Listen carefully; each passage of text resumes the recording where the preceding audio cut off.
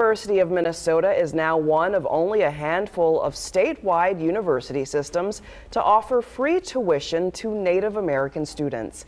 The announcement comes as the country kicks off Native American Heritage Month.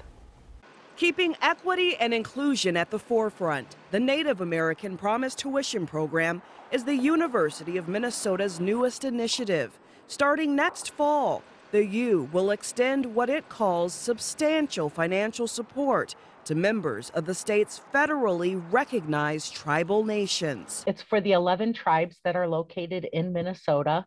Um, you have to be an enrolled citizen.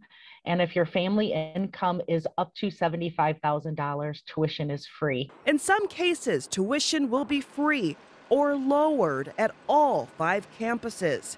The new waiver program is an extension of one established at the U's Morris campus more than 60 years ago. That campus was acquired uh, and it was a former boarding school, so it came with the promise of a tuition waiver for Native American students.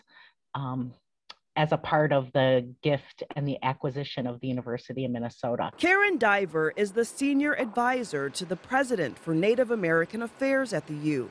She says that the Native American student population on the U's campuses remains low. I don't have the numbers on all of the campuses, but I do know that they are slightly less than the representation in, in the population.